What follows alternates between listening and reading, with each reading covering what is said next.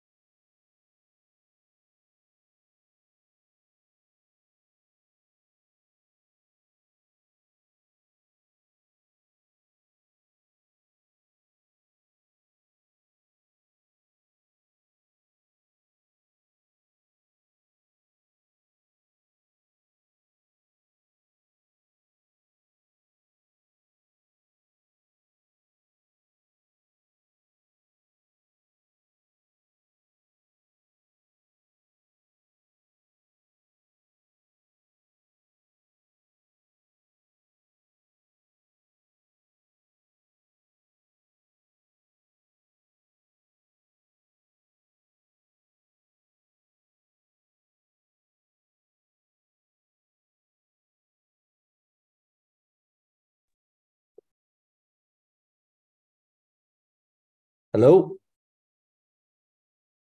Spriti? Uh, sir, uh, ma'am will again re-log in now. Your own. Smriti ma'am will re-log. Uh, Smriti ma'am will re-log in now, sir. Just give me a minute.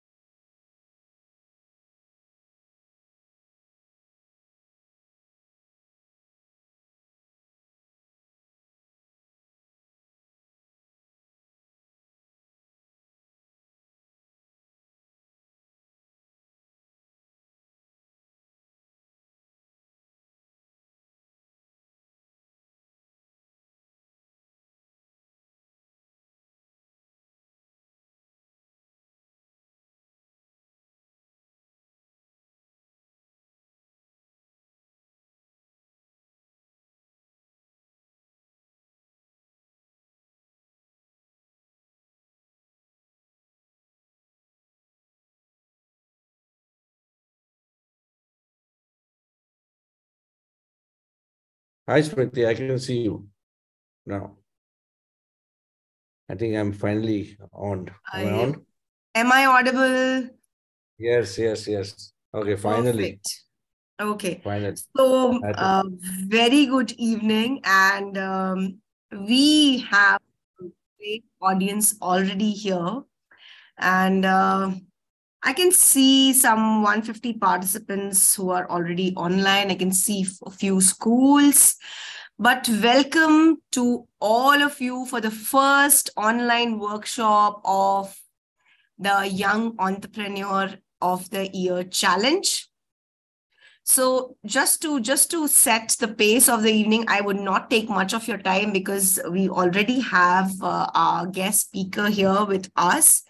But uh, as we embark on this journey, on this remarkable journey together, why are we here? I'll, I'll just give you a glimpse so that all of us understand what are the takeaways. I hope all of you have your notepads, your pens around you, or you're noting them down, taking the notes in on your phones, on on your notepads, or anything that you like to, right? So, starting from this, I am thrilled to have all of you here representing a diverse and dynamic community of dreamers, innovators, and change makers. Uh, why so? Because being an entrepreneur is all about all these three things also. Today, we embark on a remarkable journey together, one that will inspire, empower, and equip you all with tools and insights needed to transform your aspirations into tangible achievements. Our mission is to unlock the potential within each one of you, encouraging a spirit of creativity, resilience, and collaboration. Throughout this event, we have an incredible lineup of speakers starting from today onwards who are trailblazers in their respective fields. These visionary individuals have brought their own ideas to life, overcoming challenges and leaving a lasting impact on their communities. They are here to share their wisdom, experiences, and invaluable advice to guide you on your own path to success and discovery from the first presentation today, where we are starting, to the lineup that we will be having, you will be having a curated and a comprehensive program to cater to your thirst for knowledge and provide a platform for meaningful connections. It's not just a competition, it's also a platform to connect with like minded people sitting all across the country, right? So you won't believe we are close to 1,000 students who are participating in this challenge. So remember, this event is not just about listening and learning, it's about taking action, right? So today is the first workshops. Your deadlines are coming close where you'll be have to submitting your prototype. That's the first thing that uh, we are approaching towards, but we'll talk about this later on. But just don't, just just remember that there's a lot to do, right? So we encourage you to actively participate, ask questions, share your insights, and connect with like-minded individuals who can become valuable allies in your journey. So without further ado, let's let's dive into this transformative experience together. Brace yourself for an immersive, thought provoking, and inspiring event that will leave you with tools, motivation, and network needed to turn your ideas into reality. The time is now, and the world is waiting for your brilliance to shine. I am Smriti Singh Bhati from Vijaybhoomi University, and I welcome Ashutosh Phatak, who's the founder of True School of Music and the Pro Vice Chancellor at Vijaybhoomi University. Welcome, Ashutosh. Welcome to the platform, and hope we have a really wonderful interactive workshop with all these young minds here. So, over to you. Thank you. Thank you, Smriti. Hello, everybody. Good evening. It's I'm so happy to see so many of you here it's going to be uh, it's going to be so much fun. You know, it's my God, we got about about 175 people, so this is great. I love that fact that so many of you have come and you have this. Uh, see, you got that spark. You basically you've got this some kind of a drive. There's something inside you that makes you want to come here and do this. That means you have what it takes to be successful at what you ever want, make your dreams come true. And I promise you that. I'll tell you a little bit about myself. And then I want to tell you about what I think, how we can maybe think about business and business plans and, and how you should approach it. Yeah, that sounds good. And you know what I want to do is try and make this interactive. So uh, I've asked Smriti to just keep a track of any questions that come in. Usually I do this live. I do it in front of people and I love interacting with everyone and get their feedback. I know that in Zoom, uh, we're going to try and do that as much as possible as, as we can. So I hope you guys have your questions ready because that's what makes it all fun. And then maybe, uh, I'll stop every once in a while and ask you maybe to read out some questions and we can do that, right? Okay, first of all, my name is Ashutosh Phatak. I'm a composer and a producer.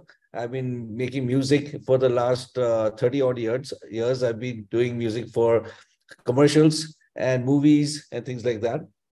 But I started off. I started off uh, when I when I went to college, uh, I was programmed to want to go to business because at that point in time, everyone said, "Okay, you got to go and make money." So um, I tried. I worked very hard, and I got into the Wharton Business School to do um, my economics degree. But I also love to make music. So what I did was I also did a music degree. So I did both. I did a music Western classical theory degree and an economics degree. And my life basically has been about creating businesses out of music. And so that's how I've joined my dots. And I'm hoping that somehow you guys will find the dots that you will join in the passions that you have and create something phenomenal. Uh, so when I started first, I started composing music for commercials. Then I started um, a music production company because when I when the work got too much, we needed to get a lot more composers on board. So we became a bigger team. And from that, there evolved another company which I started called the Blue Frog, which was a live music venues. It was all over the uh, the country. There were three, four Blue Frogs around the country. We had recording studios, and we had a record label and all kinds of music-based businesses. We started from there. So I have a little bit of experience in starting bunch of other businesses, and the uh, latest one was the True School of Music, which actually is 10 years ago. So True School, in fact, is turning 10 this year. So it's I'm uh, I'm a, a veteran of startups. Let me put it that way. We have done it many times, and I've and I've made uh, many mistakes and there are many successes that have also come that way. So I think from from based on my experience and based on what, I, what I've understood, I'd like to share some ideas with you on how you guys should think about doing this business. I love the fact, first of all, that there's so many of you that are going to be participating in this. Uh, I think it's um, the future is decided by the youth, and you guys actually are the key. The world is going to be very different when you guys graduate or whenever you finish school or college, because the, the world as it exists will that will exist in four years does not exist right now. Remember that. So that means the ideas that you're going to have to come up with have to come, you have to think about the future and think about how how you can solve problems in the future. So I want to take you through some some ways of looking at it, right? So one sec, I'm just going to try and project this thing. Hang on.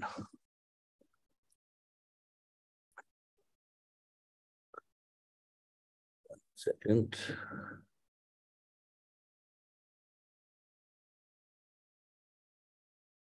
Smriti, can you guys see this? Right. Okay. So let's talk about this. And and maybe Smriti, when I start going through this, I'm going to take you guys through two, two, three, two, two parts. One part is the idea itself, okay, where you're going to get how you how you're going to think about the idea. So, what is the idea? First of all, how many of you already have an idea? Can you guys raise your hands? Yeah, let's let's yeah, let's oh wow, let's let's see the raise of hands. Yes, Keshav, Ananya, Harsham, Kratin, Vedant, Ansh, okay, Gurnur. A lot of kids who have ideas. Tejas, uh, Anushka, Navreet, Tanishi, Jia, nice. Arya. number going. Look at that. 44, 45, 46, wow. 47, 47. So many, so many good possibilities there. Okay, great. So good. So let's let's let's start with this. Okay. So you guys have already thought about this thing. That's very great. Now, what I want to do is try and define what that idea is. I want you to think about a few more things. Okay. And I want you guys to react to this also. So let's start off with the first thing. How many of you know you yourselves? I want you to first think about that. Because one of the best, best things that you could ever do is bring yourself into the idea. Because you know what? All each and every one of you are unique. Okay, each and every one of you have come from different backgrounds. Each and every one of you have had different bring, upbringings. Each and every one of you had different toys you played with when you were kids. Each and every one of you have different relationships. That is something that is very, very valuable. So I need you guys to think about you. What is unique about yourself and what is your USP? So your idea, in some sense, should definitely resonate with something that is about you. Understand that? Does everyone get that? You can put all your hands down now. And I want to make sure you get that. That is very, very important. That means what are you passionate about? You know, what do you think? Because, you know, when you start a business, let me tell you, it's probably one of the toughest things in the world to do. And to keep going at it, you need perseverance. And to keep to have the perseverance, you really need to have the drive. And the closer that idea is related to you as a person, as a personality, that drive will happen naturally. So that is one of the hardest things. You know, everyone talks about, oh, startups, startups, startups. 98% of startups fail. So remember that. So that means it's a tough one. So you got to really love what you're doing. Okay. So you have to think about that. All right. What else? You need to think about what you are passionate about. So, what is first thing? What is unique about you? Second thing, what are you passionate about? There is a, there was a saying, uh, but I read this somewhere. I think it was Peter Thiel or someone who, who said this. Um, um, starting a business is like jumping off a cliff, and while you're falling down, building a whole airplane before you hit the ground and coming and flying off from it. That's how difficult it is. So, so if you really want to do it, you're going to have to be able to jump off that cliff and build that plane. So you, the passion that you have has to drive you completely. Because you know what? When it gets tough, when it gets hard, yeah, yeah, it's very easy to say no. But if you truly believe in your idea, so the idea, remember, has to resonate with a passion that you have. And there's no, no two ways about this. So think about that very clearly because if you think about it, when you're doing a, a real business, a long-term business, this is not something you want to just start up and, and, and take off. First of all, that also is a terrible idea. A lot of people think that, okay, let me just start up something, yeah, yeah, I'll get some valuation and I'll sell it. Bad idea. Because that way your basic, your fundamental idea would be very, very weak you won't be able to do that you should start a company that honestly that you want to be that you want to have for the rest of your life. That is where that passion has to come from. And those are the ones that succeed because that's when that founder is so critical. The founder has thought about everything. They thought about all the permutation, combination things that can go wrong, thought about all the competition. So if you have to do all that thinking, you better love what you're doing. So you really better love it. So find, find an area that you're really, really passionate about. Okay. And then in that area, you start to look at what are the problems. Simple as that. What are the problems facing there? What are the if, if you're if you if you are passionate about sport, for example, or if you're passionate about music, if you're passionate about sport, and if you're thinking about what to do, uh, and if you like cricket, okay, now if they find a problem there, maybe there's a problem that there's an access to talented people that are making the Indian team. Maybe there's another way to solve that problem. Maybe that that that is not happening. And you know, everyone in India loves to play cricket. Maybe there's a solution over there. So you need to find something that you're passionate about, something that you will bring as a unique uh, experience into that situation, and then find that problem in that area. Okay, simple. One, two, three step. Think about that. You must answer these questions with you're is this all right. Now those problem problems the problem or that. That you are solving. But the time to now step back. Is it a small problem is it a problem that needs to be solved right now or is it a problem that can be solved later is it something that people can't do without, or they can? It's just a convenience if they don't have. All these makes all these makes it all these way of understanding the value of what you're bringing to the table right now. So that perspective, have an outsider's perspective. I'm talking about you have to be passionate about from the inside, but you got to be clear about it from the outside. That means you have to be objectively understanding that that your the problem that you think that exists is a real problem and it's a big problem and you're going to solve that problem because the best businesses are ones that solve the big problems as everyone knows. So be honest about this is that struggle real? So all the ideas that you guys have had so far i want you to go back and think about these steps about that okay is it a real real problem how many people are facing that problem is it is it big enough is the market then big enough for you to have this whole idea and get investment into? All right. Smriti, are there any questions coming up? You let me know. Absolutely, okay. I will. Uh, Ashutosh, we, I think uh, there's a little trouble so, in the connectivity there. Let's focus on the one idea that. Sorry, was that was that uh, yeah the bandwidth the bandwidth of your connection is a little weak i think. Uh, mm. let me let me just pradeep is it is it a trouble? Uh, can everyone hear so properly?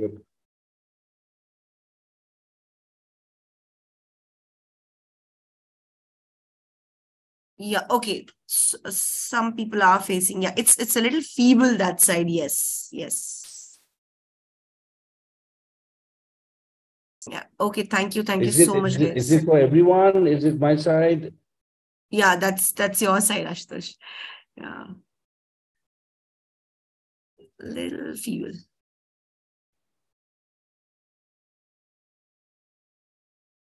Oh boy.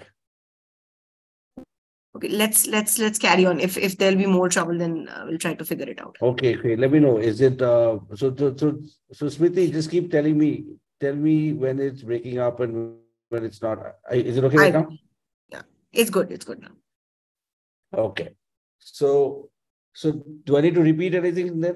Think people yeah, the, the last slide, the last slide. Yeah, we we missed on that. Yes. Yeah. So, so you know what? Let me just let me just quickly recap. Okay, a very simple thing. Find out what is unique about you. I'm talking about you guys, each founder as a as and i want you to write that down. I want you to think about what are you bringing to, to the table as as your own experience and your own perspective. What is your usp remember that. So that's quickly one. Second what is the area that you personally are totally passionate about? And that is important because this is going to be a difficult journey right? Because business is hard and perseverance requires passion. So remember that. What do you love and then in that area what you love what are the problems that you that you think you're going to solve so it's very clear and then is it a real problem or not the the, the real the truth. You got to think about that practically, whether this actually is as big a problem as it seems or not. So step back. This is when you step back and think about that. Yeah. Okay. Now, so this is if you got that idea. Now let's fine tune that idea, right? So you need you need an idea that has a sizable customer base first of all. It has to be something that is worth putting the investment into. It's worth getting revenues, uh, decent enough revenues for investors to think, okay, fine, this is something that I think has got a lot of potential. So that means the size of your customer base is very important. Okay. Who is your customer? You need to start thinking about that very clearly. Obviously, you should know that. You have an idea what kind of what kind of uh, demographics. Uh, you, I will get into that in a little bit, but you have to just get a get a sense of what they stand for, you know, and how do you deliver value at an appropriate cost. It's a very basic thing. It has to be something a customer can afford, and it's got value that they need. Okay, and what is it about you? Going back to that, and your unique abilities that put you in a position to find the best solution. So why are you better than someone else to do this problem? to solve this problem. You need to put that down. So you need to convince me, if I'm an investor, that you're the best bet in solving this problem.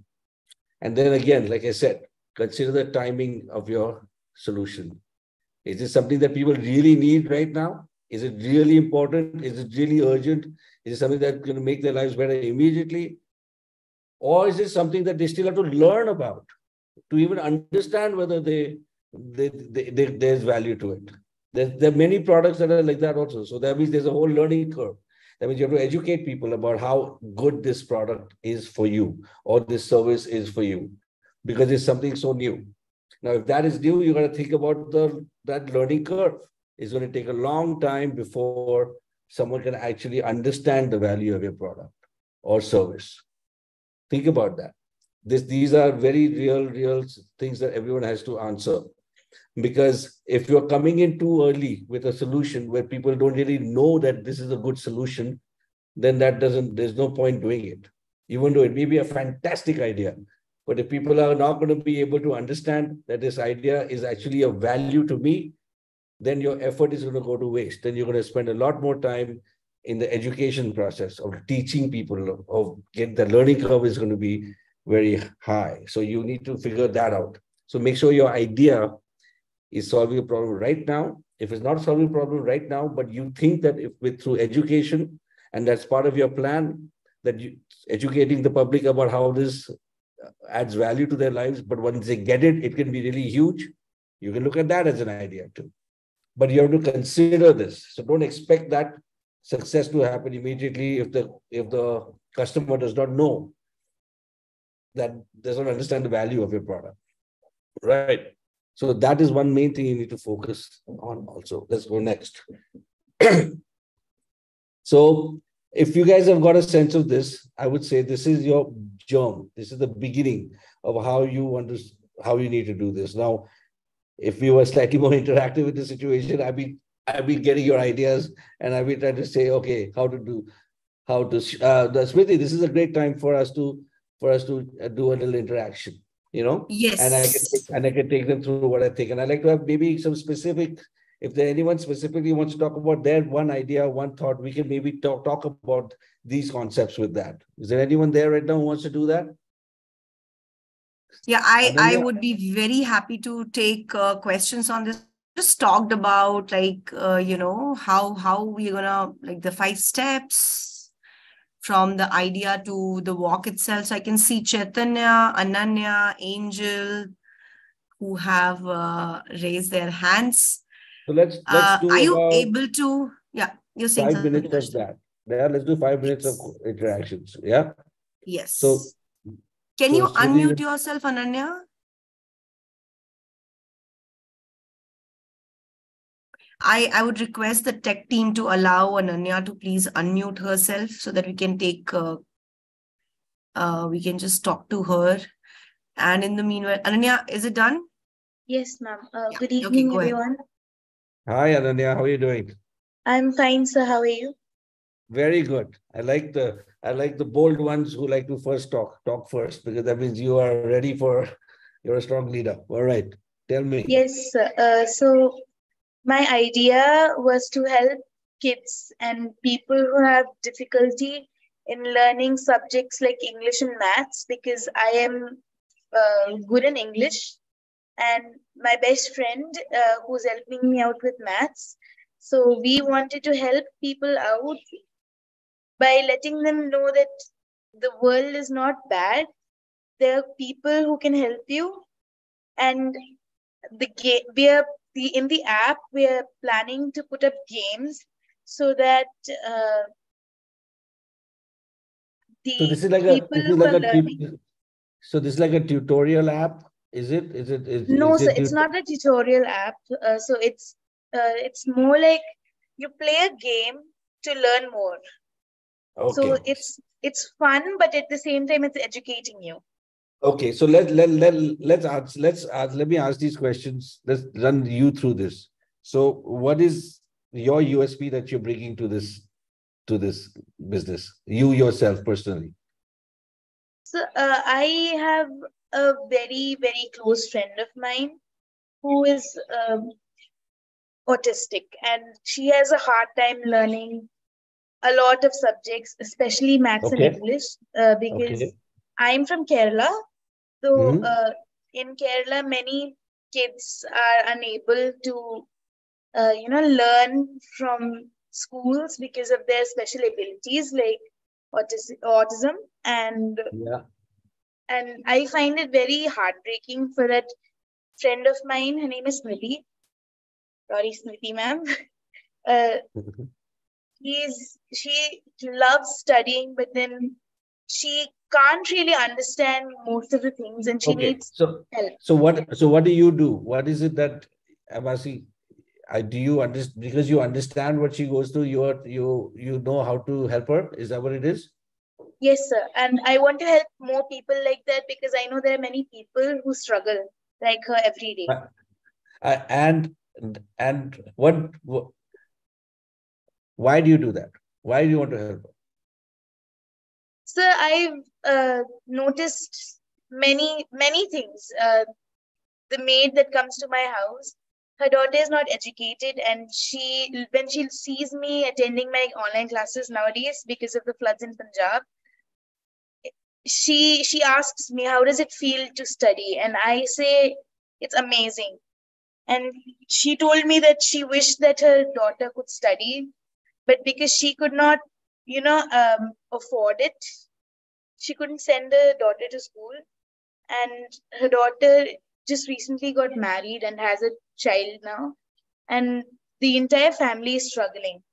And the child is also specially abled with autism, and the mother, like my mate's daughter, has a phone. So okay, so you're you're saying okay. So let me let me let me let me understand. So you're saying that this is from your heart. You feel instinctively this is your your you want to do this. This is something that makes you happy to do, right? To help, Yes. help someone like this. So so so that means whether you are getting paid for it or not, you still want to do it. Correct? This is what. yes, sir, I do not want any money. I no, no. So no, if you start a business, you have to figure out how to earn money. But that's, it's not a bad thing to want money. But what I'm saying is that it's good because then what you're telling me is that you got a passion for this, right?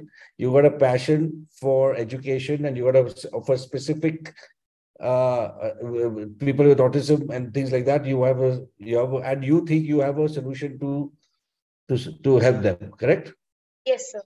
Okay, good. So that is your basic idea. You, I'm I'm not going to go into details, but the idea is that, right? So if Yes. you if you go forward, I think this answers your question. You think you are, I believe you are very passionate about it, and that means no matter how hard it is, you will find a solution to it, right? So that's good. You got that thing going. Okay. Now, th- Uh, Ashutosh, this- I, I have one thing because you're talking about this. Can you, can, there's a question in the box related to this, Yeah. which is uh, asked by a child. And the question is, what is a USP? Uh, you know, what is a USP? So okay, okay, sorry. Yeah. So, yeah. so, so your USP is basically your your unique selling proposition. What is making you so unique? What are you bringing to the table, right? As a person.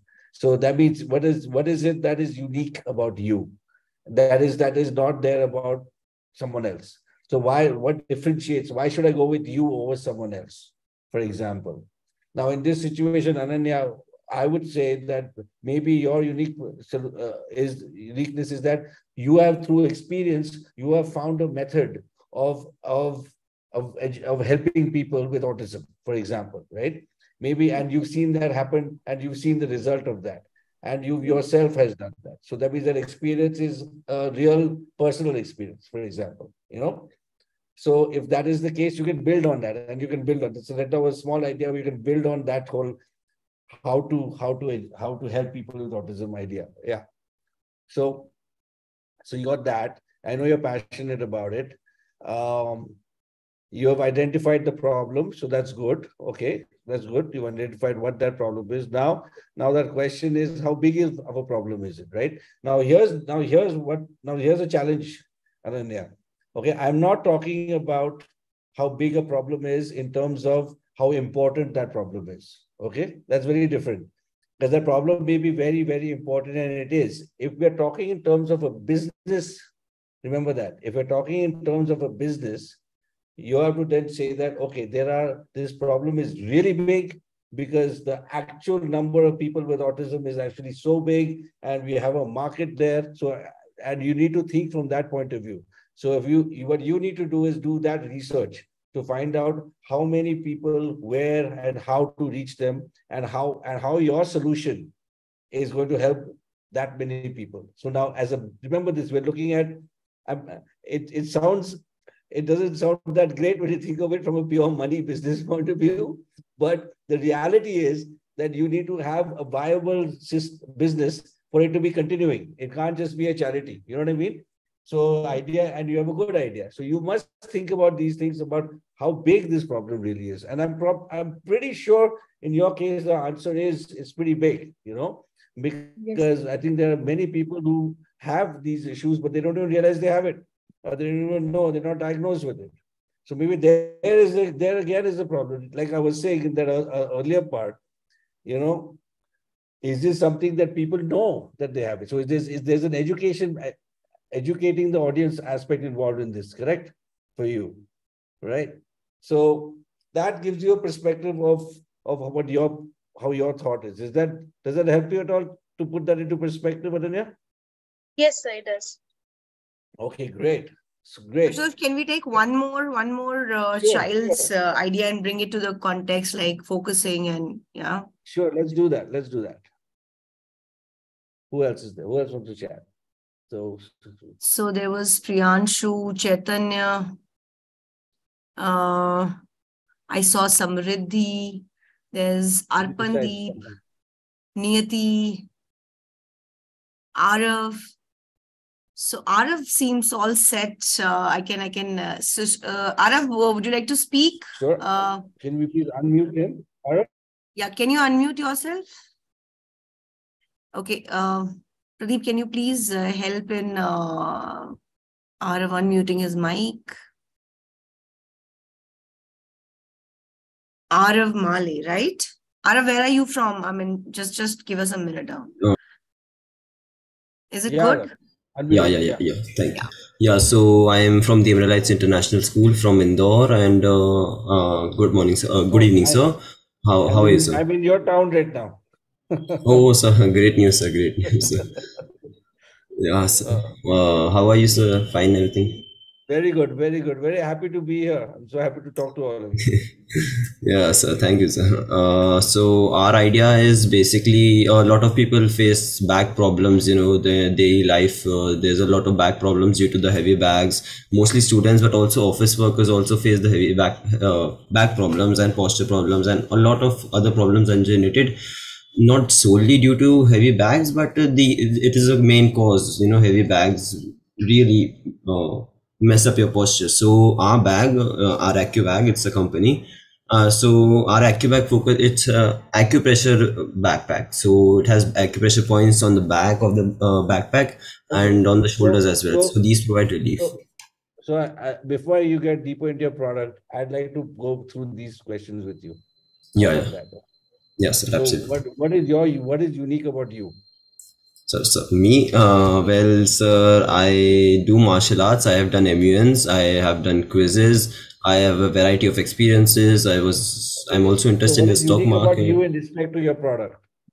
What are you bringing to the table? In So, uh, so unique about me is the concern I have for the health of others, uh, you know, especially family and loved ones, but also the whole general population. And you know, health is uh, an very important topic for me, and uh, our product focuses on health in daily life, which you know integrates health into daily life as well. And you know, you can uh, get health benefits effortlessly without any different thing, you know, just Okay. normal So- backpacks, wearing that backpack. Yeah. So, so Arav, I'm gonna, I'm gonna, I'm gonna, go a little, I'm gonna, I'm gonna go a little deeper with you on this. Okay. Oh, okay, sir. Okay. Okay, sir. Yes, sir. Definitely. Okay. Yours. Okay. This is. I'm with you. I love what you're doing. Okay. So now take take what I'm saying in the correct spirit. Okay. Yes, sir. Yes, sir. Definitely. sir. Okay. Okay. So I'm gonna be that little harsh guy and say, okay, fine, but I've heard this from everyone. Okay. I've heard this many times. Why? What is it that? Why should I go with you? I've heard this from many other people. So, Why so me as in. Why do I think you will succeed in this? so, so our our team has four people, me, Prashast, Yug, and Rishvi. Uh, they are present in the meeting, yes. So I focus on the technicalities, and uh, Yug is our uh, head, as uh, he's in 12th grade. Rishvi focuses on marketing, and Prashast is uh, mostly operations. So So- again, I'm going to stop you there, Arav. Arav, I'm going to stop you there. Everyone will have someone who does something for the company. What I'm getting at, what I'm getting at, is where you need to do a little bit of introspection.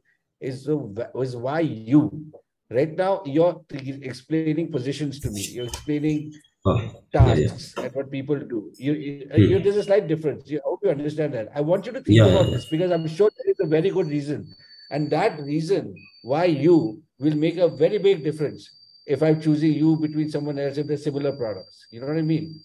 Yeah, So- yeah, yeah. So this also because there's a little bit of introspection that you all need to do to really understand why am I doing this? Like why is it why am I go, going to succeed in doing this?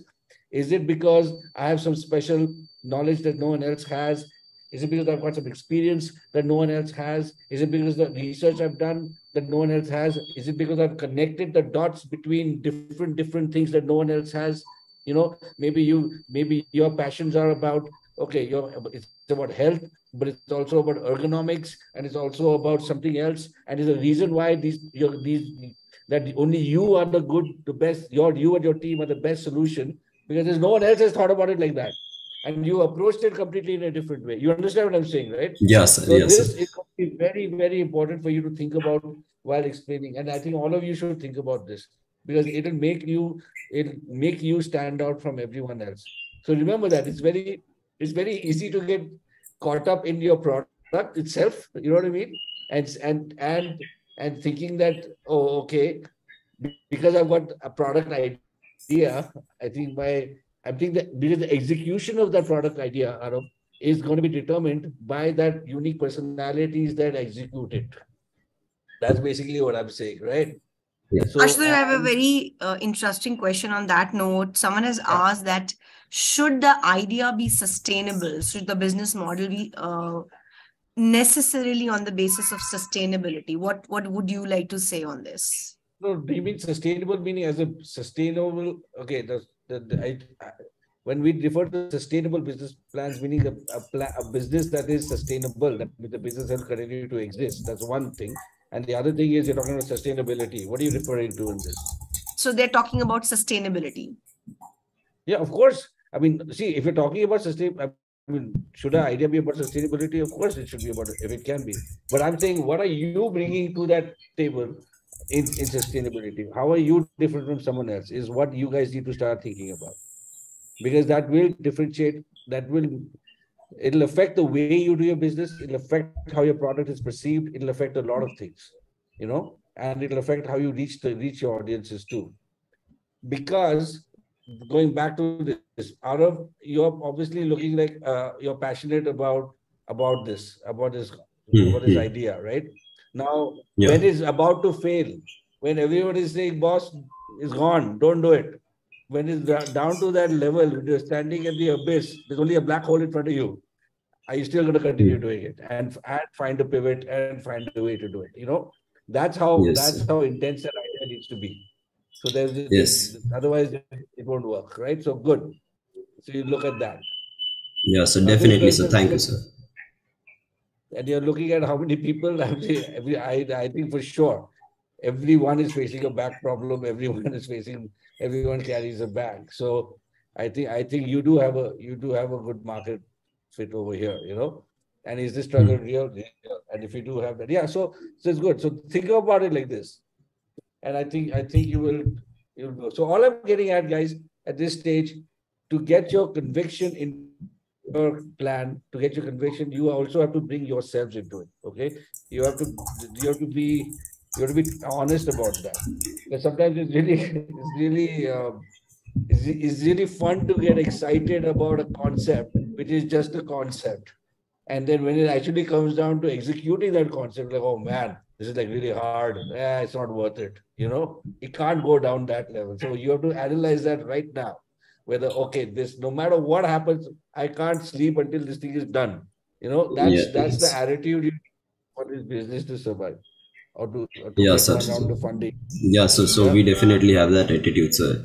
You know, it's it's a really personal issue for me as well. You know, our teachers also face back problems regularly, and uh, I am a person who like really loves their teacher and would do anything for them. Like uh, you know, go, yeah I don't remember it, but uh, teacher above all and family above all. I'm that kind of guy. So yes, sir. I'm nev- I'm not stopping I, here. I, I, I love I, lo- I think it's a very good thing I think it's a very good thing if you can one second let me just see I've been told if you can't hear put on hang on let me see this is, is this better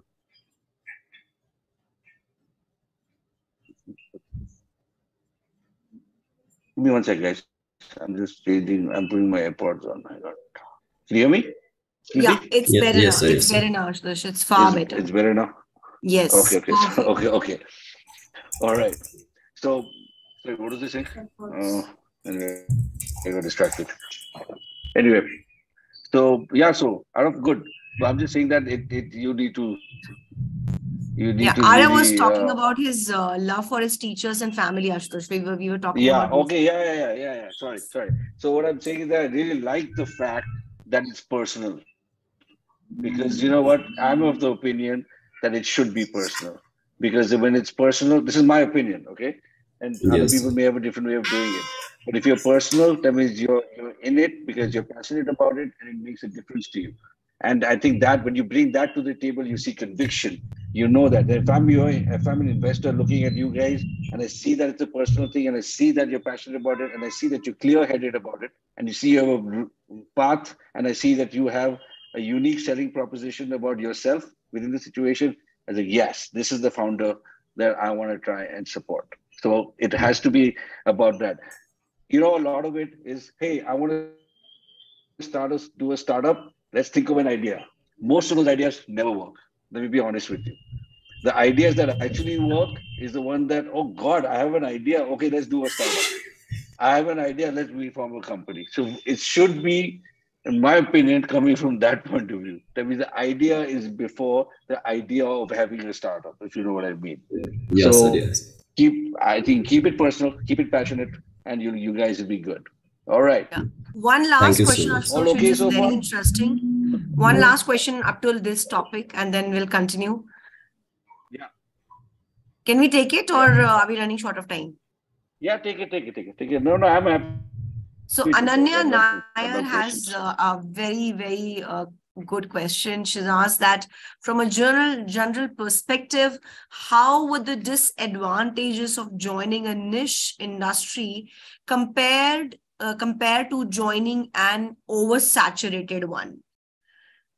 Would you would, do you want me to repeat this? So she she's asking from a general perspective, how would the disadvantages of joining a niche industry compared to joining an oversaturated one? Like I can, well, I I'm can, not sure. I why no no. So why, is it disadvantage? Is why is in your opinion? So Ananya, can we can we talk about this?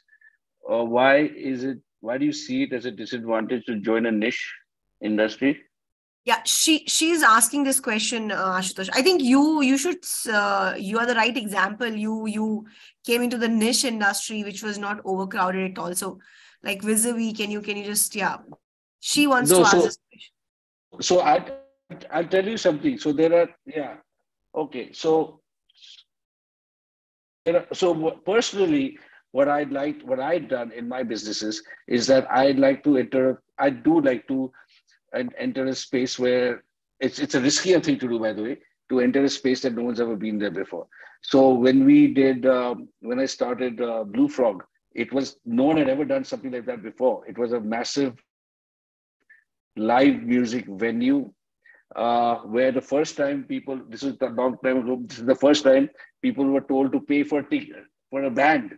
Like you have to pay at the gate just for the band, and it's not for food or alcohol. You have to pay only for the band. So, but it these frontier businesses, which is the thing that I personally like, uh, is because the the effect of change is quite big when it does work out.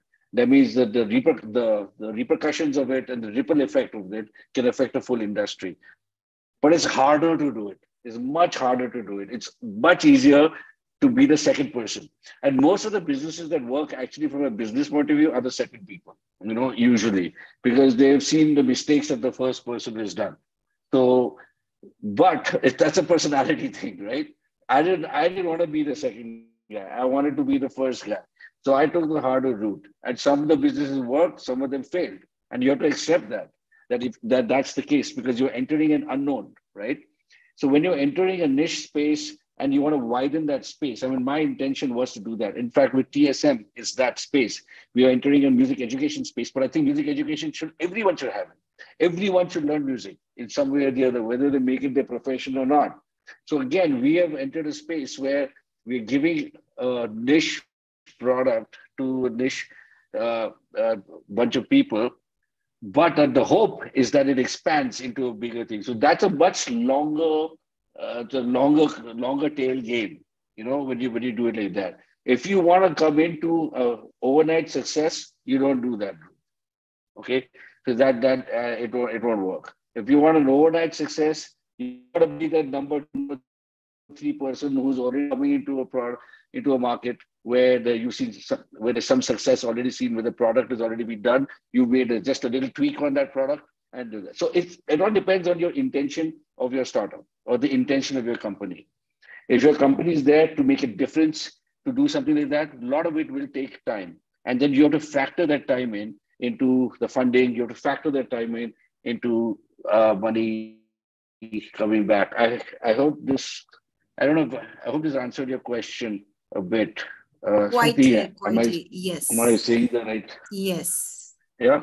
Yes, I think uh, the the the takeaways till this discussion till this particular point is that you know your idea has to be a reflection of you, so that forever and ever you can be connected to it. Am I am I right to conclude this thing, Ashutosh? Right, and and uh, let's let's just move a little ahead in this and uh, talk to more kids I can't uh, believe the kind of questions that are posed and uh, the conversations that we are having. Kids are worried about uh, being, uh, I mean, you know, about the community being autistic, about uh, the troubles that people are having regarding their backs. So I can No, it's, see it's, a lot it's, of it's kids, amazing. It's amazing the space that Yes. It's amazing the space that you guys are coming into. Yeah. Yes, absolutely, absolutely. So commendable uh, set of kids and brilliant ideas you've already in your head. There's a quite a lot of uh, observation that you've put in uh, while you are uh, thinking about uh, becoming entrepreneurs. That's that's such a nice thing. So let's let's uh, uh, go a little ahead in the in the presentation and learning. So over to you. Ashutosh. Yeah. Okay. So, okay. So if you guys are ready now, the next part, take notes, is basically going to be about how to structure your business plan. Okay. So, so I, I mean, it's, there are various ways of doing it.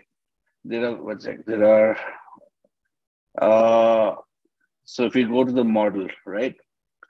So if you guys are ready to go ahead with this, I'm going to do, I'm, I'm going to do that. Okay. So take after you've got your idea.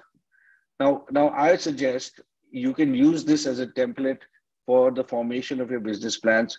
These are 10 other basic things that you need to look at, and I'll talk to you about each one of them. Okay. And uh, this is this is again, this is not the the one and only way to do it. This is just a suggested way of looking at a business. Sometimes your ideas would be would require other other factors which are might be more important, but that is for you to also decide. I'm talking about from a generic point of view, what is required to look at as a business, right? So if you look at this, right, the market, first thing, you got to identify your market. Like we were talking about it. Is it a mass market or is it a niche market? You got to think about that.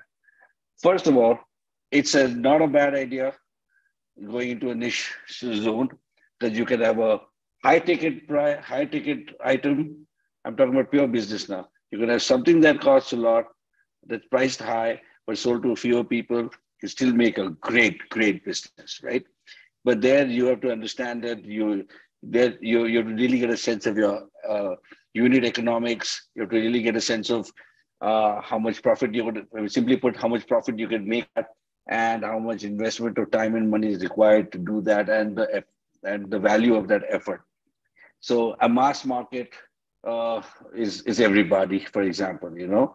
So if you're looking at uh, Amazon, oh, yeah, you know, big basket, there are all these other or the commodities that are there, you know, anything to do with uh, any like a Unilever product and things like that, you know, your soaps and shampoos, all that stuff. So if you want to create a soap or a toothpaste that has got something amazing, something new, unique, something to it that you think is going to be, I mean, it's going to save everyone's teeth uh, much better, or if you got some sort of oil, whatever.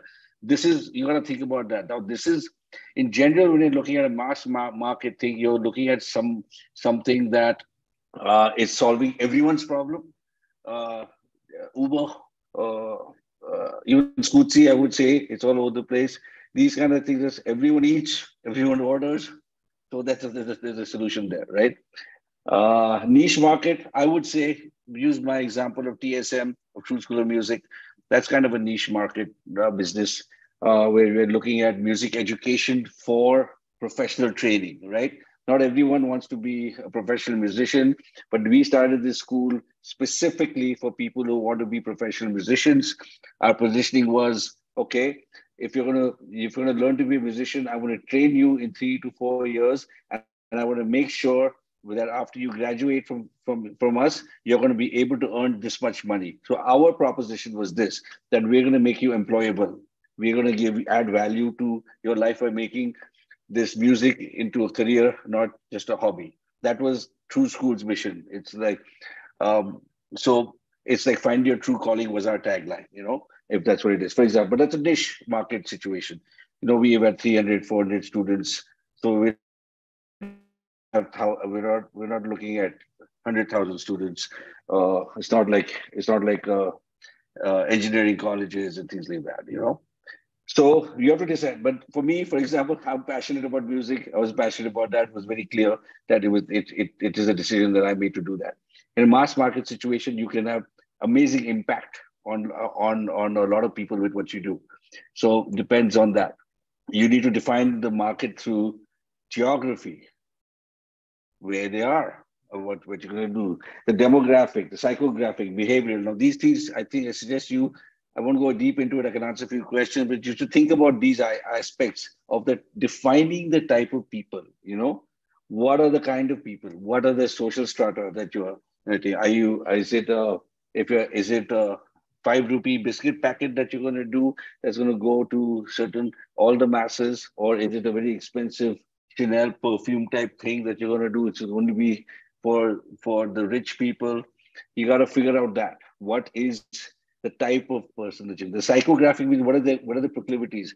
What are the things that they tend to do? What the people? Uh, some people are, are they prone to certain festivals? Are they prone to you know certain behaviors? Also, you got to look at what are the what are the what are the everyday behavioral patterns of different people in different strata of society. So all this makes a big difference on how who the people are that your your product fit.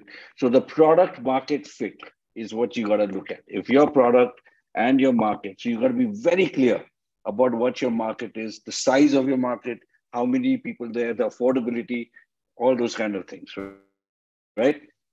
So step one is the market. Okay, let me move ahead. All right. Step two Yeah, is Ashutosh, there's there's a particular question, uh, or if if you want Sure. me to answer, I can answer this. The ch- uh, the children wants to know what is uh, like, you know when we classify, they want to know the difference between psychographic and behavioral market. I I can also take this question, but I'll be happy yeah. to. Why don't you Why don't you go ahead? Take Yeah, yeah. I'll, I'll, I'll so I'll, I'll uh, coming from the background of uh, a little economics that I learned. I'll, I'll um share the definition-wise uh, understanding of it. So when you talk about the psycho psychographic marketing, it involves analyzing, understanding consumers based on their psychological characteristics, specifically based out of attitudes, beliefs, values, lifestyles, and interests.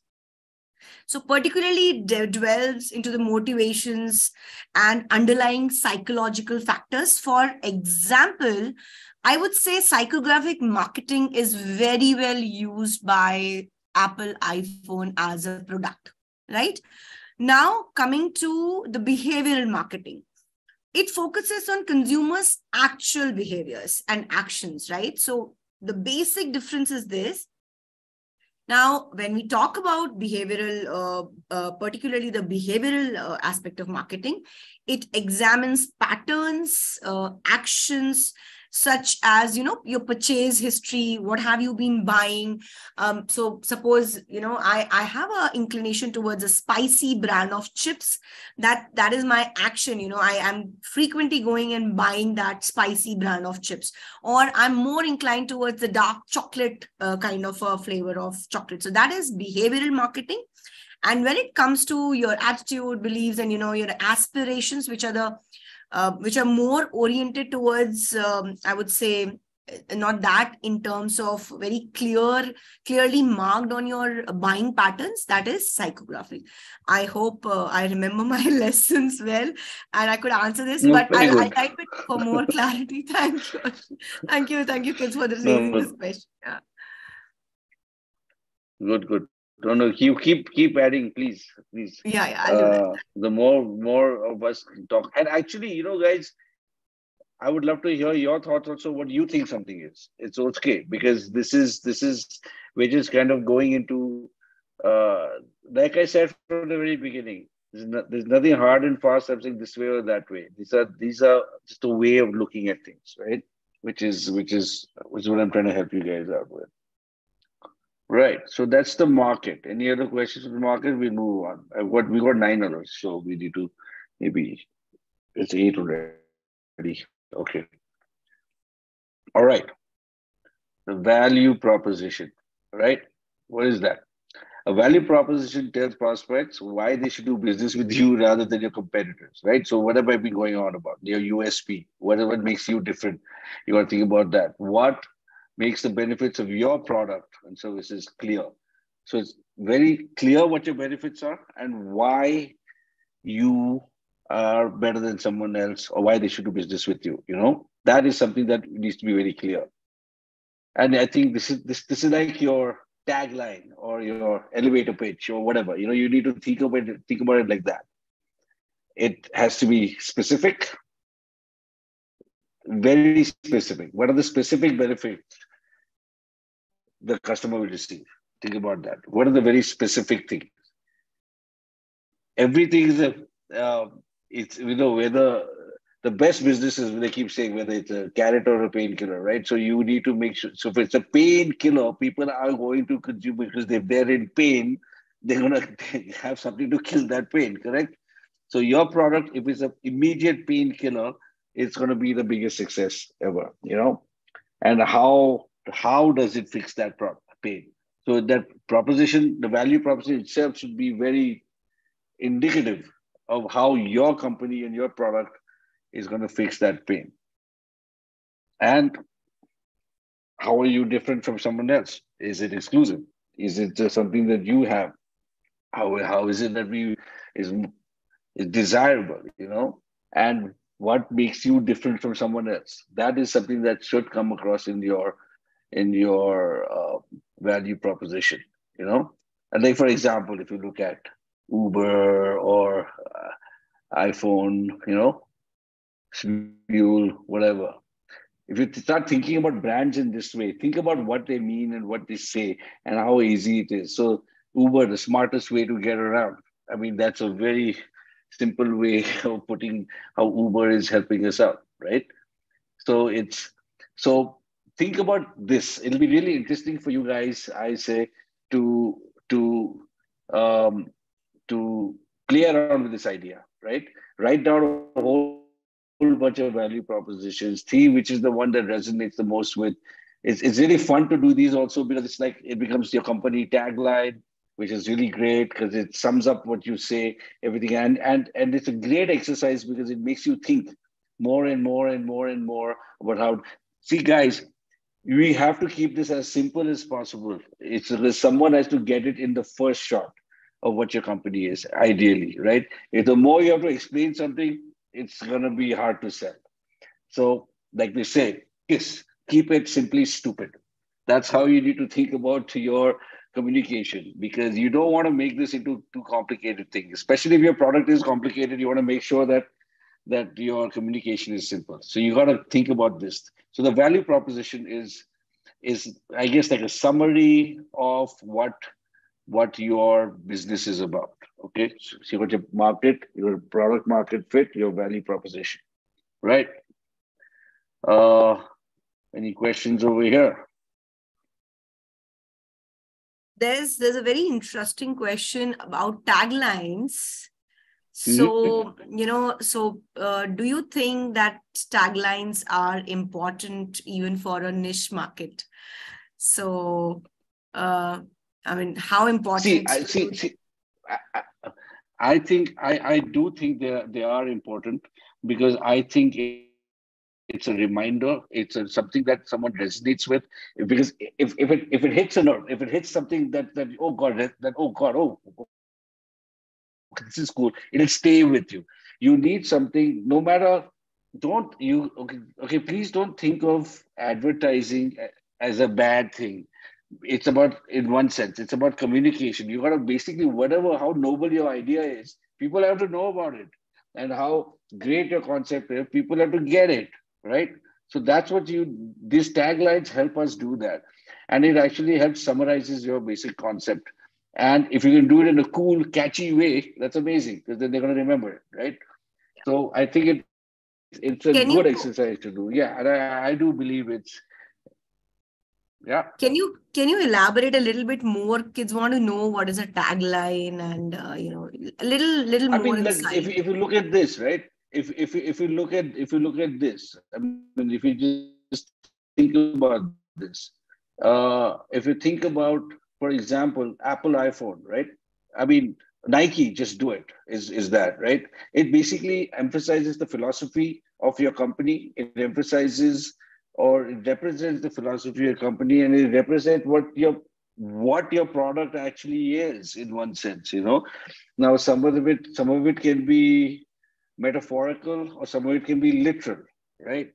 Like the smartest way to get around is more literal right I, but i think what's amazing is the experience is the product that's what that, that's a cool one because we think it's it, the, the iphone is the cool thing and all but actually steve jobs was not about I mean, his design was the was the UX, uh, you know, the experiential aspect of how to make it simple, what to do. I mean, the fact that that the uh, you only you have to use one thumb, whatever. It's it's you got to think about that. So I really I, I, I got this very well when when I saw the experience as the product, and to me that made complete sense, and that resonated with me. So so the taglines are you got to try them out. It's it's an um, and and honestly, if it yes, advertising agencies, people in marketing can come up with them, but in my opinion, if the if it's really if it's if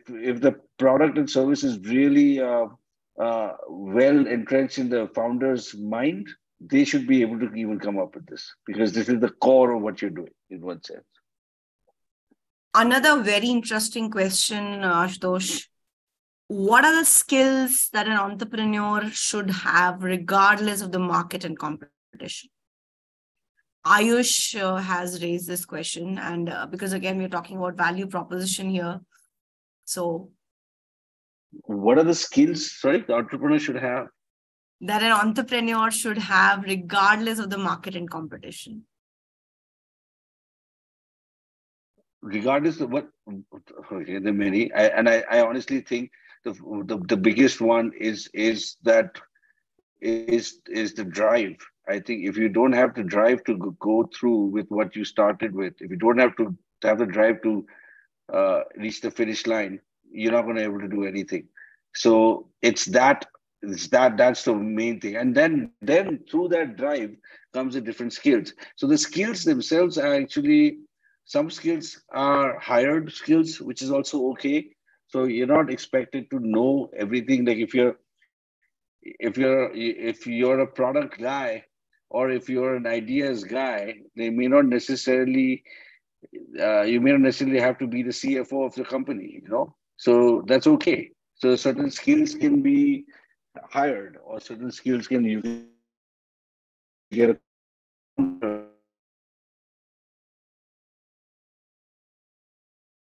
the drive to back to the same thing is that one of the hardest things to do ever in your life. It's most fun thing to do, but it's the hardest thing to do. So keeping that in mind, that perseverance is is is the most important thing. All right. Yeah. So do taglines affect how much the business is profitable? Okay, what do we have next? Can you hear okay. me, Ashish? It's getting a little. Can you hear me? Do tag do taglines affect how much the Yes, I can hear you. Yeah, Do this is the question. Do taglines affect how much the business is profitable?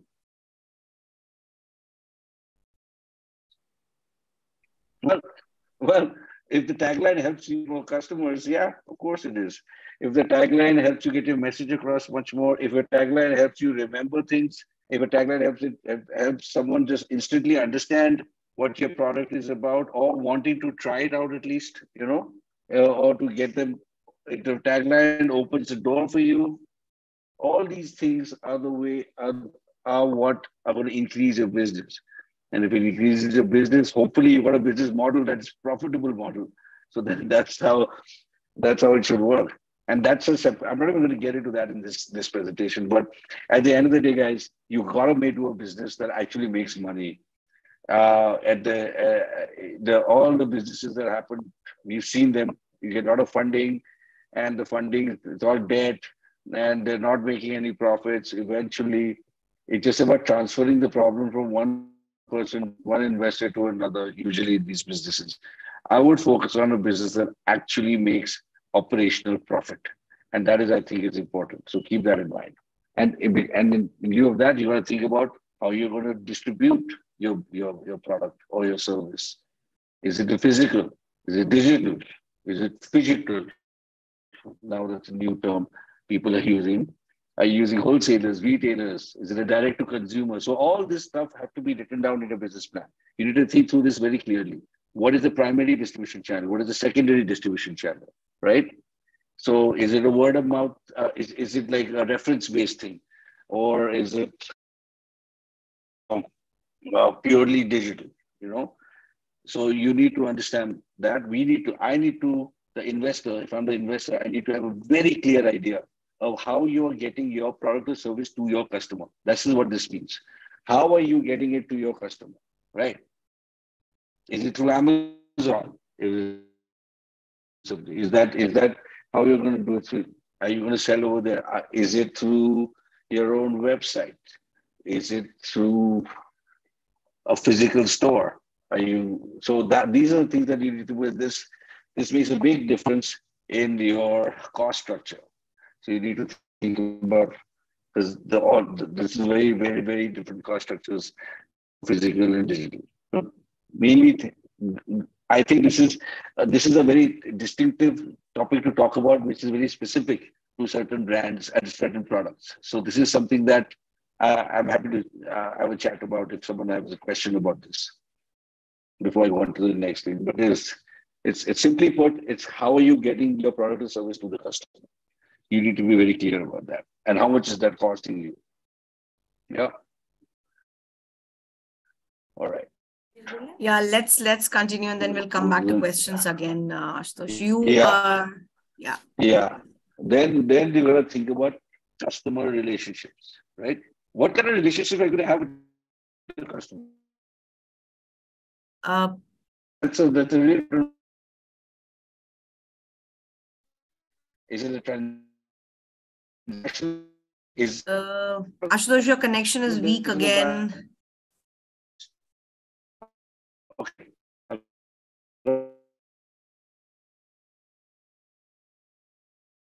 Would you would you like to uh, go uh, Smriti, come? can you hear Yeah, me? Your your connection is very weak, uh, Ashutosh. We are like unable to hear you again. Hang on.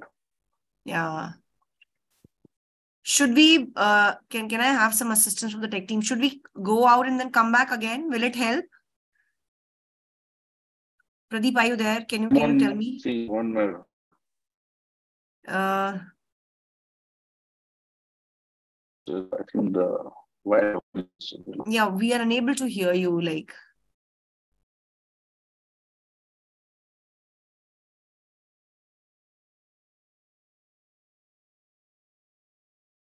Mm. Oh, give us a minute. There is some little trouble. I'll get resolved. Um, in the meanwhile, I can just tell you one thing. Uh, we need to wait for a little while to know uh, how you all are going to do the submissions. So, regarding the submissions, please hold on your questions. You will get an email uh, soon after the workshop is over, right? Uh, Ashutosh, you're back, right? I, it, I- it seems a better connectivity also. I think I'm back. I Yes. think I'm back. Yeah. Am I back? Okay. Better, better now. You can All hear right. me. I'm back, everybody. Okay, great.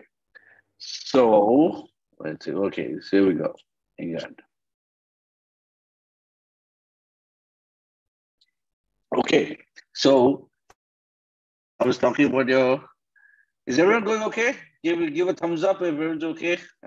Everyone's alive. All right.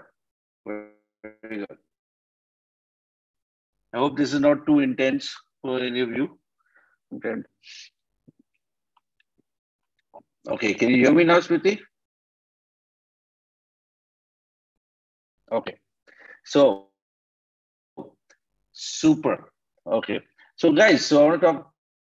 What is your customer relation? So, is it someone that, for example, is your customer just going to buy your product once or service once, and then you don't have to ever see them again for four years or five years or one year? That's one type of relationship. That means your whole strategy towards them is going to be very different, right? What is um, what they call is what is your customer uh, lifetime value of your of the customer? So you want to think about that. Or is it someone who's buying something every day? Then you have a completely different approach to how you're interacting with your customer. Is it something that if it's if it's like a what is it? If it's like a I know all of you guys, or many of you, are something like a Scootsy or a Swiggy or something like that. People are doing it every day, right? So there's a relationship there. So that means the communication that you have with that, with uh, with your customer there has a completely different strategy than if you're selling a fridge or something like that. Because you'll buy that once in every 10 years or something, you know? So so so you need to understand what that is going to be, and that's going to affect a lot in your business, right? So define the relationship you have with your customer, because that's going to affect your uh, your customer retention plans, how you're going to keep keeping them going, uh, and you, uh, maybe you got a product where you need your customer to sell your product. Maybe you got some kind of a reference thing that's happening there. So that means your customers are there are your are part of your sales teams. In fact, sometimes you can do that, and your ambassadors. You'll have a completely different approach when you're talking to them if they're your ambassadors or if they're your they're, if they're your one-time client, right? So think about that. And it's going to affect your costs. It's going to affect your strategy. That's going to affect uh, um, your advertising. That's going to affect how you uh, how you internally have your system set up. It's a, so there's a lot. There's a lot to do. So this is your main communication with the person that your business depends on. Remember that. And so your your your uh, the teams that you hire are, are, within the company are going to be very determined by this by this equation that you come up with. Right. So customer relationship very important. All right. You got to make money. How are you making it? Where is it coming from? What are the revenue streams? That means, what are the areas with which you're making money? Is it an app that has got subscription? That's a revenue stream, right? So that means every monthly you're getting recurring revenues coming in. Do you have in-app purchases? That means is it every once in a while you buy something from the app, if it's an app, or do you have annual subscription, or it's a lifetime subscription, lifetime buyout?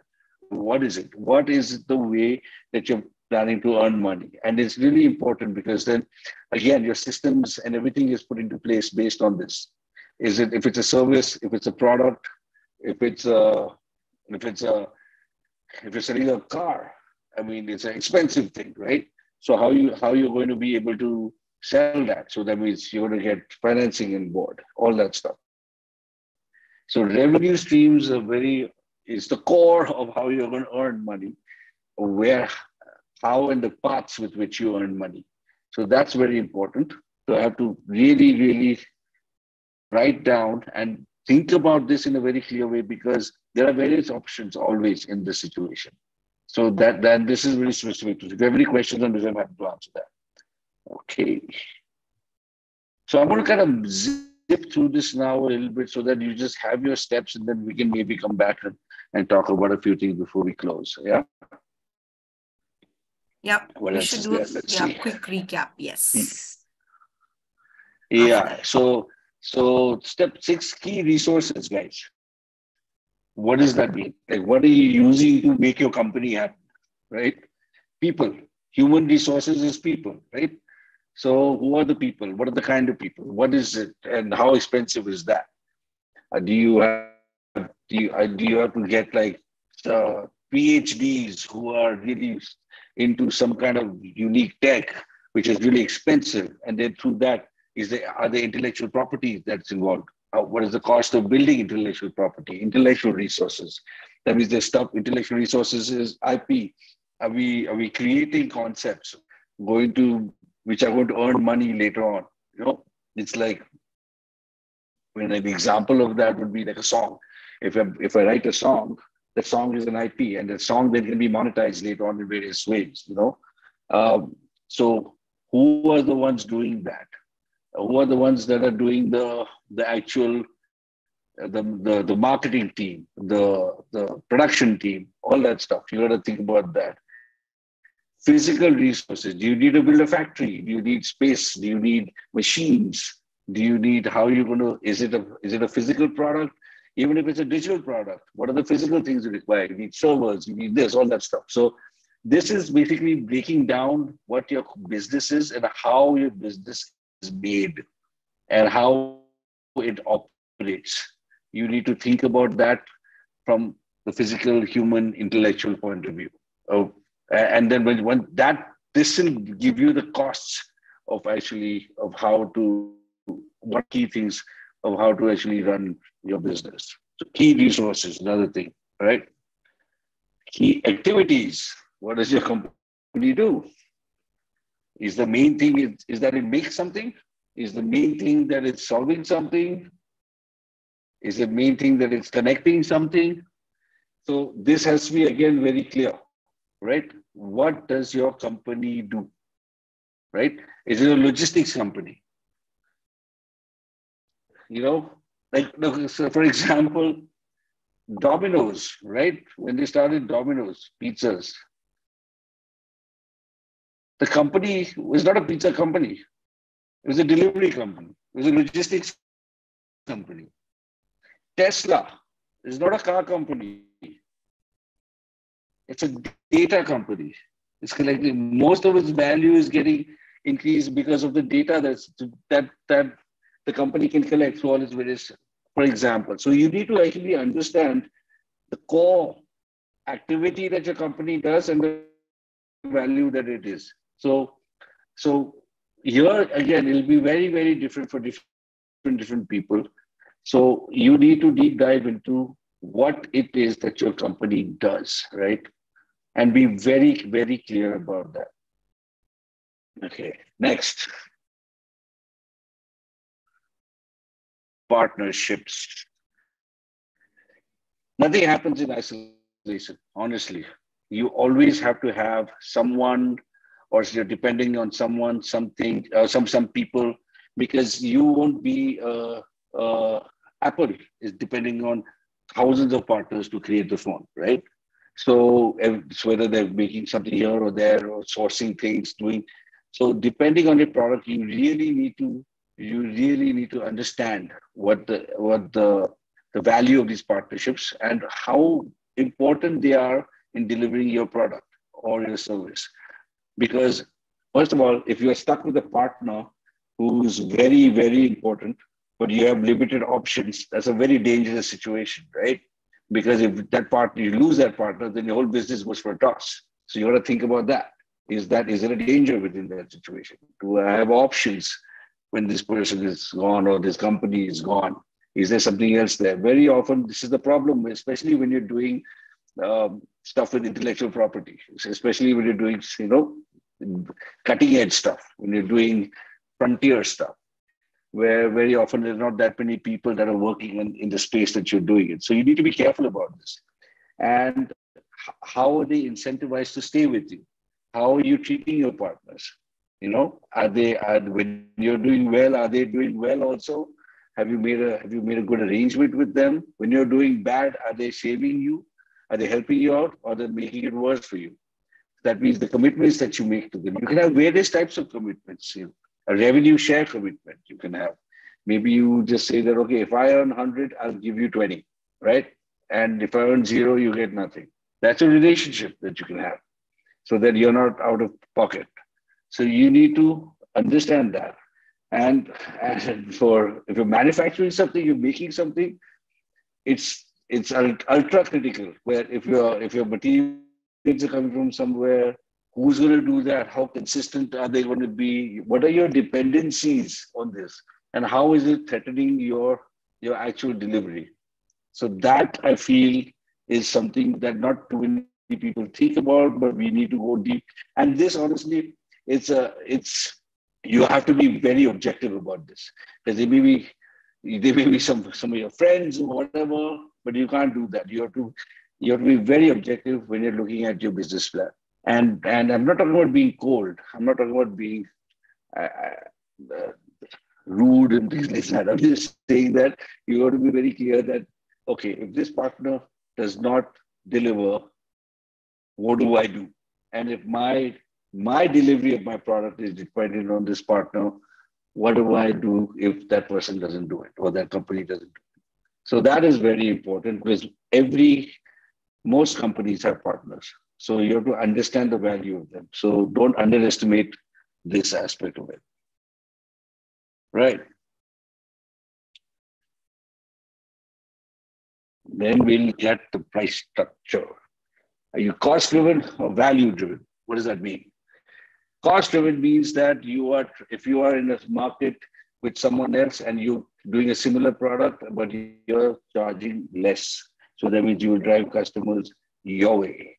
Uh, for a, so if I have to choose between A and B, and honestly, there's not that much of a difference, but B is cheaper than A, I'll take B. And if you're the guy who's got a product which is B, but you found a cheaper way to produce that product, which is your USP, then this is a good strategy.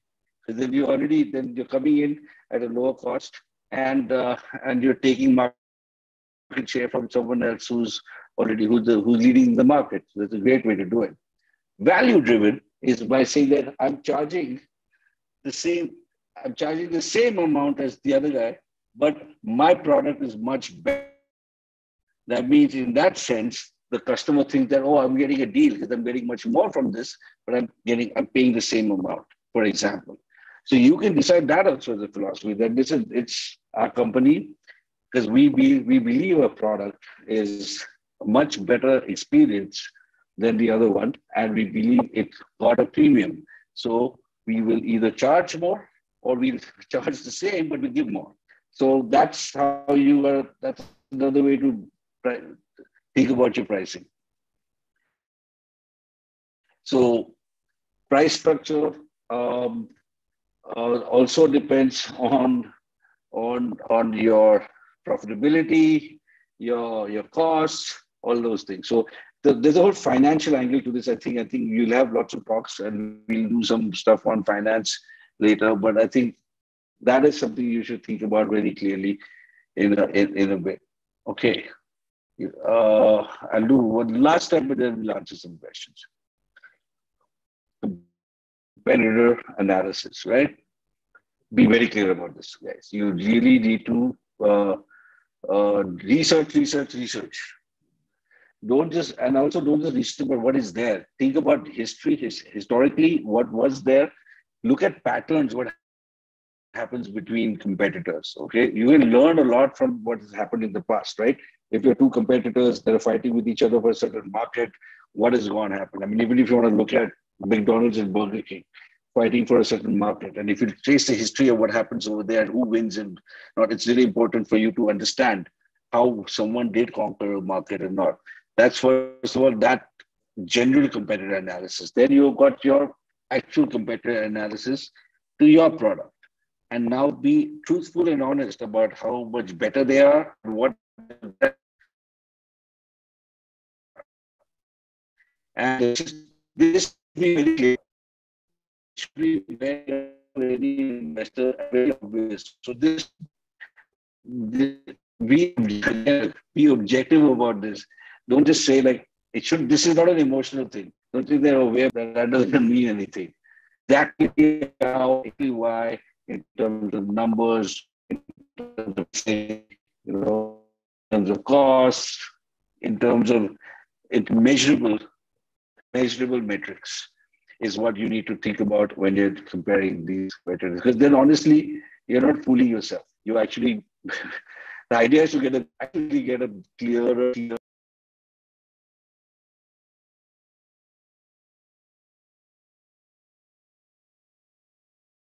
Oh, I am really sorry. I think again uh, there's some connectivity issue.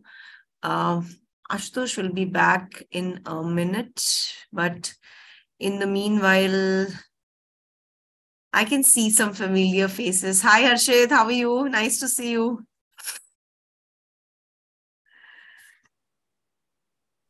I I hope we have made our notes, uh, and I I just wanted to add a little bit here. So all these workshops that are online, please be very careful. These are the learning lessons which will all get together for all of Sorry. you yeah i was just giving them a little glimpse that all these online workshops are going to you know actually fall into the learning experiences of you making uh, coming up with your own business idea. Some of you must be having it already but you can all tweak it with all these lessons that you're learning right now. So over back to you ashutosh.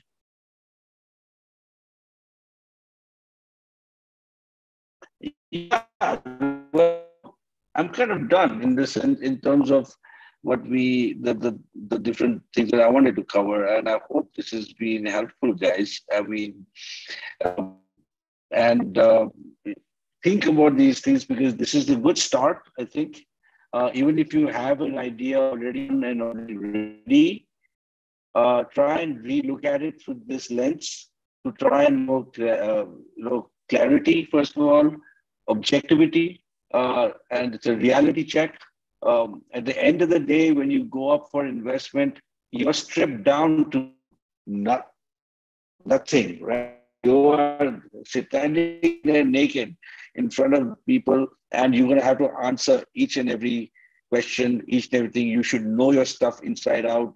You should have done your research. There should be nothing that you can't answer. And that only happens when you're very objective about it and all be passionate about it as a person that you are because you will keep it up but be a step out and look at it objectively and to look at all the faults in your plans. Because there will be lots. There are lots. The faults in every plan. And first of all let me tell you something. Most of the business plans that happen when the businesses do take off immediately start changing. But you have to get your core idea correct. And that I believe is something that I hope I've been able to help you with. And um, yeah, I hope you guys had a good session. Was it okay? Can I see some thumbs up or down? All right. Where was uh, is everyone here? Okay, now okay, that I can. everyone is here. Uh, Ashutosh, yes, there's a lot of thumbs up going uh, in the air. That's so nice of all of you, Sonal, Angel, Gurleen, Thank you so much to all of you for raising the thumbs up. Okay, so so before before we move on, uh, we have about uh, another 20 minutes to take your question, not exactly 20, but 15. Um, the first thing is that there are still some questions that are pending and I wanted to ask uh, particularly to Ashutosh to answer these questions. One of them is a very good question. I wanted to ask that how can a student work for making a company without compromising with their academics? Would you like to take on this question, Ashutosh? Oh, who can make a company without compromising the academics? Okay. Uh, uh, are you are you, are you talking about a high school student or a college? These are all high school students, right? High about, school students. You don't want to mess up your you don't want to mess up your 12th standard. You don't want to start a business. Is that what the question is? Should I start my business when I'm in school? Yes. Is, is, is and and that he doesn't want to miss the school. okay. Sorry?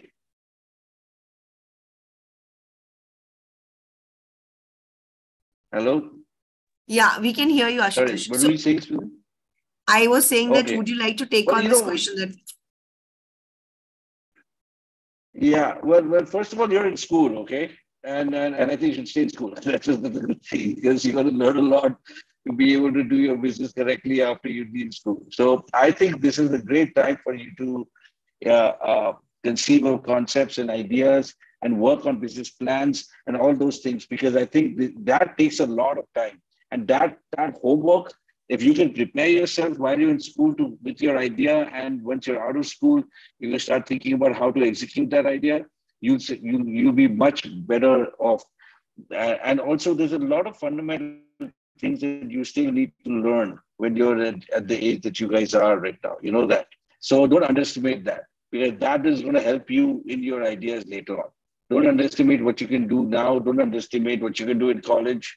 Really, really, because that can be, you know, it's it's all cool and all to say, yeah, college dropouts are billionaires and all, but you know, that's that's just those few. And I, and I, I believe if you you can use college as a serious place to really learn what you are about, discover yourself completely, and if you are and find out how your passion, that the part from your passion to your profession can really happen. And that's a time to experiment with things where you're you know you're in a safety net where you're not really uh, you know getting into trouble uh, in the real world, but you're trying your thought ideas out. I think it's really important to do that to go through those exercises. So that I mean that's my opinion. I mean some people might have different way of approaching it, but I do believe that the education part is really key and really important for us to be able to execute our ideas properly. Be careful about jumping into something too soon because sometimes you think you have all the answers, but then oops, suddenly you realize you don't. Um, so that's that's that's another dangerous thing to think to be concerned about. So I want you all to be excited right now. I want you to do this business plan. I want you to do all this stuff, and I'm sure we're going to find the right way to make this thing happen, come to reality. Uh, but how to do it while you're doing while you're? I think it's very easy to do it while you're in school, but not to not at the don't mess up your school to do it. That's what I would say. Because then that'll be self-defeating. you won't have a chance to do it if you do badly in school. That's my take. Nice, nice. Thank you, thank you, Ashutosh, for this. One more question, uh, which uh, you know, although it's not just one, there are a couple of uh, questions around this. So a lot of kids have this that you know, when it comes to a business idea, should be should it be primarily driven on money? Like if I if I think about a business idea, or if I think about a particular product or a service should i first primarily think about the money that how much of money i'm going to earn out of it and then uh, start working on the idea or should i just start with the idea like your presentation said oh. it should be the idea yeah but okay. but yes oh. yes yes the money aspect of it okay so first first of all that there are okay the way I'm interpreting this, there are two, two types of money aspects. Okay. One type of money aspect is how much am I personally going to earn if I do this business? If you are starting off with that, you're starting up, I feel you're on the path to failure. So if you start thinking about, okay, if I start this business, I'm going to have so much in my bank account, I want to do that thing, don't fool yourself. Not the way it works. And I will not go down that path for yourself. Okay, that's one thing. If you have the idea and you believe in it enough, the money comes. Let me tell you that. And when it works, it works. So, from my experience, if you think about your bank account before the business, it's a bad idea. Think about the idea first, and then the bank account will happen. That's a fair personal team. Secondly, for the company itself, okay? Do you need to earn money to the company? Of course you do. That's the thing. It's about if if the intention of the company is the product and the product and the, and the continuous use of the product or service, the, you have to have the ability to continually do the product and service. And to be able to continue to do the product and service, you have to able to have a sustainable business model. That means sustainable business model as a business plan means that you're earning money and you're doing operational profits, and then so that the business can continue. So your intention may be pure, and you may not think that, oh, I, I want to do this because I believe it needs to be done. But if the but if the company or the institute or whatever you're setting up does not earn money to sustain itself, first of all, it's a bad it's a bad idea because then then your idea is going to die before it, it can get to places where it should. So there has to be the aspect of earning money and the aspect of profitability in everything that you want to be sustainable. I'm talking about financially sustainable. I'm talking about the business being sustainable itself. If you're about sustainability and you want to do business about economic, uh, uh, global sustainability and environmental sustainability, you have to have a, a company or or a, uh, or an institute or something that can actually survive, right? To continue doing its job. So that also requires money. The fact is, people need to be paid salaries. The fact is, things cost stuff, and a company needs that to do it. So it's important to look at the the reason to make the money.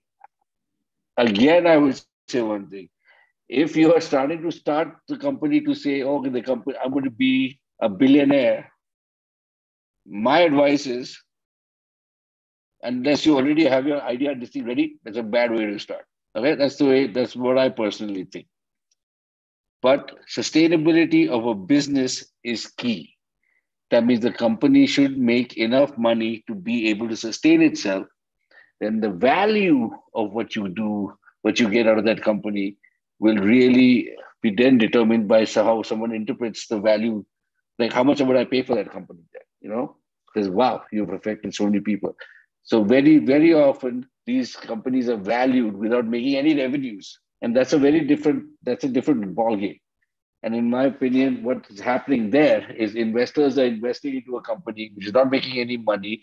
They're raising value, okay? And the value that they're raising is that they're convincing someone else that it's worth something else so that they can sell off their shares that pass the problem on to someone else. To me, that is not a sustainable business, no matter how big it is. And I've seen that happen big time with a lot of companies that uh, that were big and have died. So that's not sustainable. So you need to be practical about it. You need to be real about it. Uh, and yeah, the company should make money to survive. You need to do that. No matter how noble your goal is, the fact that it should be financially stable is very important for you to for you to achieve your targets. So, Ashutosh, one more Yeah. very interesting question. Mayank, uh, Mayank Singh has this. Is it possible to have an idea which is not much uh, innovative, but has a mass appeal, and we wish to launch it with some twists? So, like, you know, what do you say about it? So, uh, it's it's there's not Okay, so you're talking in- about no if if it's not if it's got mass appeal, okay, if it's got mass appeal, does it have sorry. Okay, another another let me think. Do not mistake marketing plans for the product. Okay. I think everyone, and I keep getting this a lot with everyone. Yeah, got this great idea of how to sell this product. Yeah, that's a marketing strategy. That's it. Okay. And don't mistake that for the product itself. So that means if and if that marketing strategy doesn't work, then the whole company is gone. So you gotta be careful about mixing the message with the product itself. So you're not trying to sell unless your unless your start your product is an agency that is selling products, right? That's different. Then that's okay. Then you're doing a marketing agency. That's cool. Then you then you then you can think of ways of selling other products, and that is your thing. That is your USP. That's good. I can I can live with that. But if you got a product and your only USP is how you're going to sell it, that's a bit dangerous. Because someone else can do it too. The minute you do it, someone else can do it too. And and what is stopping them from doing it? And how are you different? That what is your USP? Coming back to that thing, what is the unique selling proposition that you have? So, and it can't, in my opinion, just be a quirky, funky, cool way of selling something. I hope that answers your question. All right. Smriti, I think, are we good? Ah, we think are absolutely good. There's Priyanshu who's asking what to do if our product has never been launched. So, what to do in the competitor analysis? Like, you know, how do you uh, analyze when when your product has not been launched? How do we do that? oh no so so so so that's okay okay good question because what i mean by in your business plan you will have uh, certain uh, in your business plan you will have those answers there in your plan right? What your product is going to do in the market. So that means that's your plan. Yeah my product is going to be 20% cheaper than this one. My product is going to be this. So whatever you end up whatever you end up as your product whatever your product is going to be in your business plan product or service is going to be you should be able to answer that uh, uh, you should be able to compare that and do a competitive analysis with the current products in the market. So that, that's all I'm saying. Doesn't mean you're, you're not assessing, you're projecting your plans and and comparing that with current current uh, other products which you think are are competitors. That's generally how you do it. Does that make sense? I think, Smriti, that made sense, right? Okay. Absolutely. Okay, But yeah, so Uh, Um, good, good, good question. We we are uh, absolutely bang on time and uh, regarding okay I'll, I'll take five minutes and uh, go about because there are a lot of questions around this thing that how do we do the submissions and how we do the other things. Just just just a little roundup for all of you. So tomorrow we are meeting uh, again uh, the first workshop today was about transforming an idea from discovery to reality. So we started from the idea itself, and you know, uh, we we actually talked about how the entire business model is brought into the terms in terms of reality, right? You know what what what you have perceived or what you're thinking of is actually put into uh, you know shape this was the first workshop, which we are about to conclude in another five ten minutes. Tomorrow, we are going to actually build, we- we're going to build, build a complete business model. And uh, Mr. Pranav would be here, who's also a CEO and uh, he's, he's the founder of DSJ Keep Learning, a Stanford alumni.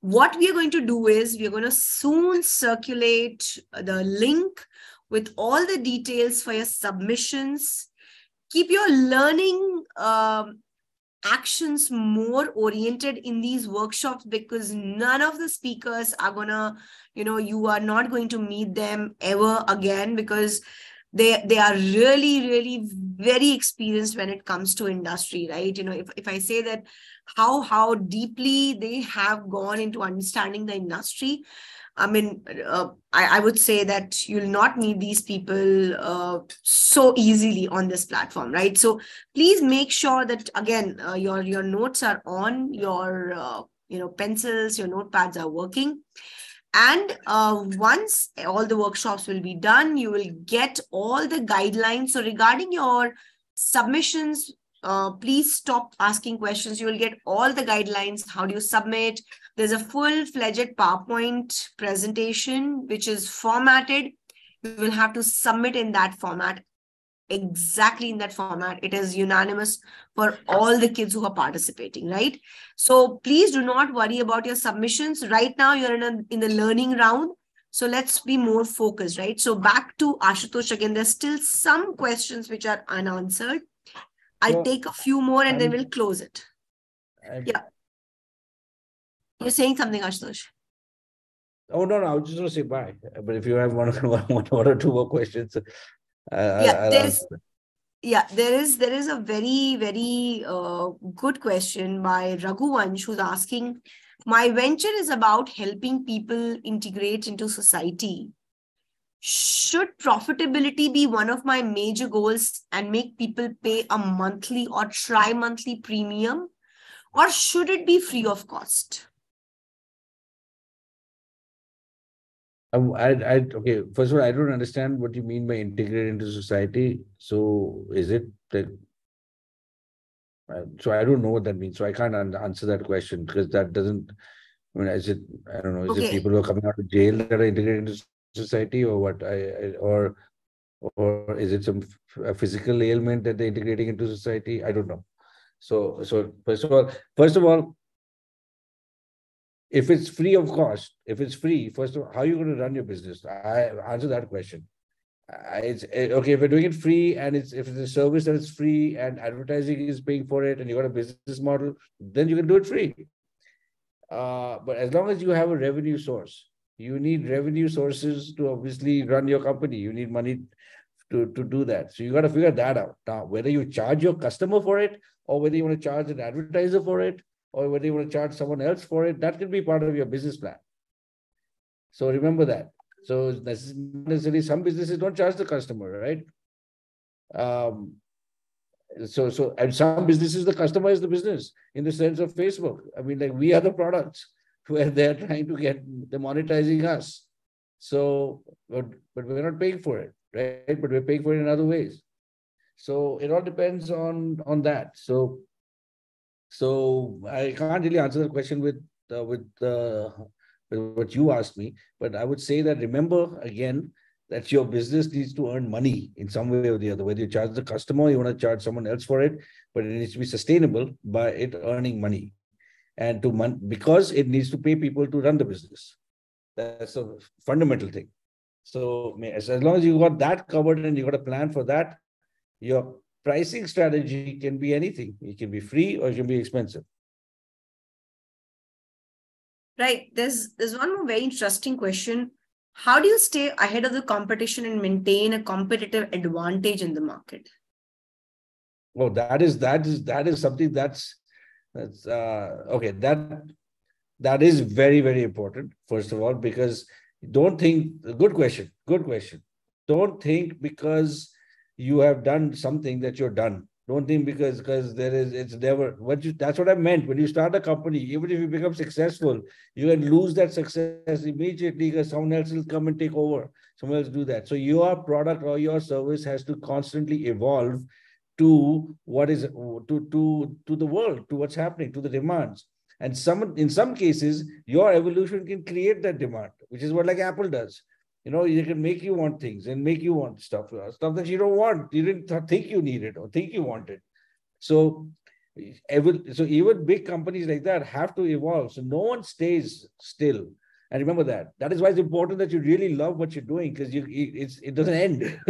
it doesn't it, it doesn't end. And if, if you retire, then someone else is taking over and still continuing, evolving and changing. So keeping a competitive edge is is the is constantly has to constantly be in play because it's very easy if you're successful someone can just copy it and do something and come out because they've seen a formula right and you've already done it and someone can copy your formula and do it so that means you have to keep evolving your formula and that is very very important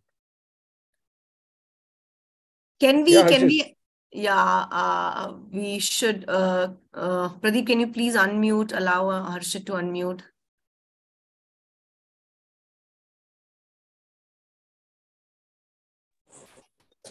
Hi, uh, thanks, Priti, and uh, thanks, Ashutosh. It's really a pleasure, always a pleasure listening to you and getting insights. Uh, last May, we were there at Vijaybhoomi University, and it was really thrilling to know your entire journey and the way you really uh, you started with business and then music. How did you land into? So, uh, while you're talking about competitive edge, it's it's so important to have that uh, competitive advantage.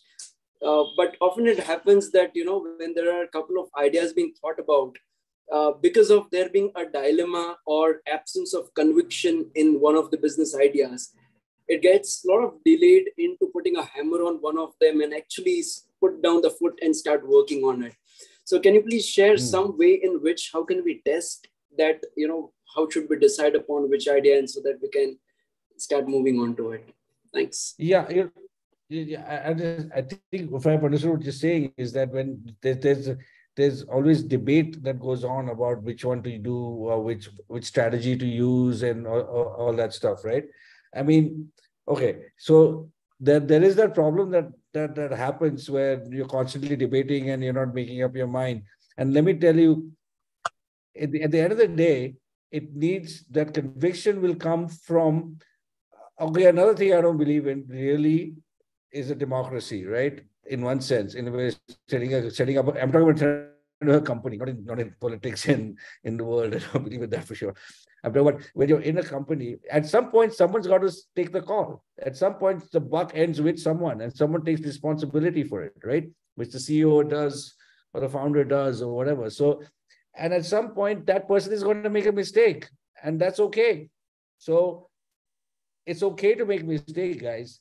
And it's in the sense that sometimes they're very expensive mistakes but you got to make them to understand what otherwise if you're just if you're caught in this in this uh, dilemma non-action zone that's even worse i believe that it's better to to put deadlines and make decisions uh, I mean, I, I, I do this with music. Okay, now music. When I'm composing music, people are saying like, "Okay, I'm waiting for inspiration and all." Forget that. I gotta do it. I know by eight o'clock tomorrow I want to compose my song, even if it's my own deadline. I'll give myself a deadline. I'll make decisions and make choices, and I'll end it. Now, whether it's the best choice or not, I'll figure out later on whether the audience likes the songs or not. But I can't just keep deliberating for like two months. Then the audience is never going to hear the song, for example. You know. So I think it's really key for us to recognize people who will make those decisions and who will actually take the call and support that. Because when a call is taken, then everyone should be behind it. And then it then it's a bad call, it's a bad call. That's fine. But it was the call. You know, it was someone you made a decision. And I think that is is one of the most important things a founder or a CEO can do is be decisive. And uh, and it's scary. It is scary to be decisive. It is because because if it fails it's all on you. But if you're really passionate about it and you have those usps that i was talking about it becomes much easier to take that fall. Because you know your conviction is still there when it doesn't happen is what you mentioned when the actual conviction is not there when people are just coming there and making suggestions for the sake of it or they think their job if they're, supposed to do it because they, they think that's their job. That's another bad thing. You have people on board who are just doing it for the job and they're working only nine to five and they want to go back. It's not gonna it's not gonna work because that that'll work after a very very established company after years and years and you know and the systems are in place but in the beginning it's full on everyone's all in and that's how it's got to be and that's why it's hard and that's why it's easy to to say no it's easy to give up and that's why 95% of the people give up is those few percent that persevere are the ones that succeed. Those are the ones we hear about. We only hear about the successes. We don't hear about the failures, guys. Remember that. And there are, the ratio is huge. I'm saying like 95, 96% failure, 4% success, that type of thing, you know? So, yeah. yeah thanks a lot. Um, it's really a million dollar advice because this is what we see as students or budding entrepreneurs being stuck up. But the way you said, you got to put down the deadline and then everybody got to be for that mission. Yeah. Thanks a lot. Yeah, yeah, yeah. well, guys, it was so good. It was so happy. I'm, I'm hope. Yeah. I hope it's helpful. I really, I sincerely hope I've tried to help you guys, and I wanted to help you get you on some kind of a track. Uh, again, like I said, this is just my way of looking at it. I hope it is something that you can, if you resonate with, please feel free to use this as a format for you to start your business plans, uh, it's these fundamental things are necessarily are necessary for every any business. So I don't think you can go wrong by thinking about the things that I've talked to you guys about. And um, and I wish you all the very best. And I'm so excited to see what you guys are going to come up with. And uh, and really, uh, I love the fact that there's so many of you who are participating in this, and I think there are many more. And uh, maybe hopefully see you in uh, the winners. I think right, Shruti. I'll see absolutely, the winners. In, absolutely, absolutely. Yes. These the shortlist guys in August. I'll on ground, face to face. We'll chat. Yes. And then that's we, to be fun. We we we are going to soon see all of you. I can see the conviction, the perseverance, because see we are we are left with about hundred plus students. I can completely see the kids who joined at the first are still here. Angel is here. I can see uh, Aditya, Medha. So there are a lot of kids. Ananya is here. Arya is here. So I see a lot of kids who were, you know, who joined a little early and still here. So uh, okay. I hope to see you all in Amritsar while we do the final submissions, while you present in front of the jury. And, uh, you know, uh, I, I can't tell you how exciting this journey is for all of us who are putting in the entire uh, backend team and the efforts that we are doing. Thank you so much, Deepti. Thank you so much, Pradeep. And thank you so much, Ashutosh, for making this evening a wonderful learning experience. Thank you to all the young learning entrepreneurs who are here. And I can't tell you how excited I am on being this journey, knowing your ideas. So um, have a have a wonderful weekend. See you tomorrow you, again. You, we have a wonderful lineup. Yeah. You are saying something, Ashutosh. Shruti, I just come to you the fun for them to see. Wondering whether this will be fun. You know, I made that little game of uh, maze of careers. Okay. Uh, I I just forwarded to you. Maybe if you want to just put it in the group, people can have a look at that. It's a yeah, fun thing to see in different if you're studying music, business, art, or law, or whatever. You know, it's a nice way to look at things. I've sent it to you. You can maybe just, yeah, let people have a look at it. It's a it's for our view thing. Yeah. Done. I'll I'll upload it uh, while we'll do the learning session tomorrow. I'll upload yeah. it. Yeah. All right. Okay. Lovely. Thank okay. you so much. Have a lovely weekend, lovely evening, and uh, see you tomorrow, you. all Thank of you, you. Everybody. Yeah. Thank you so much. See you. Bye bye.